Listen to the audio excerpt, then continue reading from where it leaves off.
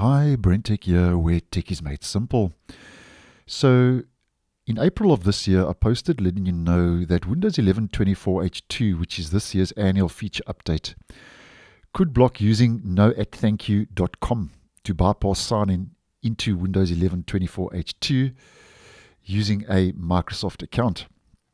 Now, we also looked at a workaround, and I'll leave that video in the end screen if you would be interested. Now, just to let you know, that it seems now that this is going to be the case with Windows 11 24H2 because Zac Bowden from Windows Central has posted recently over on X, and this is just a little video clip that's been posted.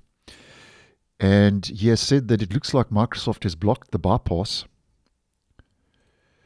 that allowed you to create a local account during Windows 11 setup by typing in a blocked email address now it just loops you back, to, as we can see, to typing in a different account. And he tried a, a couple of those different um, blocked email address addresses, which include, as mentioned, um, no at thankyou.com. Another one is a at a.com. And obviously, another popular choice is example at example.com. Now, those don't work anymore.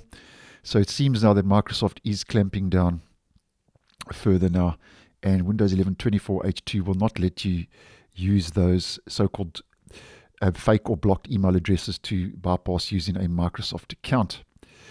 And what it does is um, it forces you, obviously, with this new kind of um, setup now in the OOBE out of box experiences, forces you to type in a working Microsoft account email address and password. But the good news is, is you can still type OOBE backslash bypass NRO as I have mentioned um, in that previous video, into command prompt during the Windows 11 setup experience, during the out of box experience, which will let you skip connecting to the internet and basically, um, obviously, by extension, linking a Microsoft account. So, just wanted to keep you guys in the loop because I know that this has caused a bit of debate.